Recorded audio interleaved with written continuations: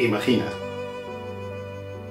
Imagínate que no fuera yo quien soy, ni tú quien eres, sino solo dos locos que buscan guijarros en las orillas de los ríos.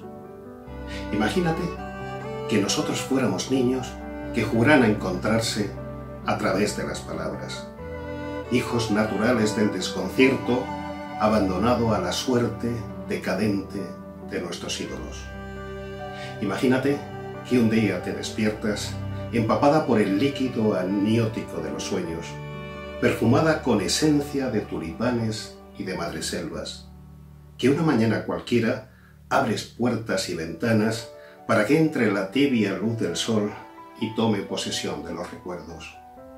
Yo también me imagino contigo modelando ideales en la arena, mientras, lejos del mundo, caminamos sin pasado. Imagínate, mujer, por un momento, que fuéramos posible, que nunca y para siempre los demás importaran, que este deseo fuese un arma indestructible, que nosotros fuera un lugar para hornear el futuro a fuego lento.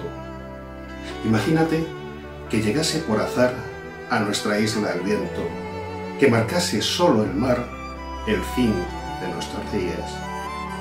Imagínate que no fuera yo, mujer, quien soy, o que tú, por un instante, hubieras olvidado quiénes somos. Imagínate.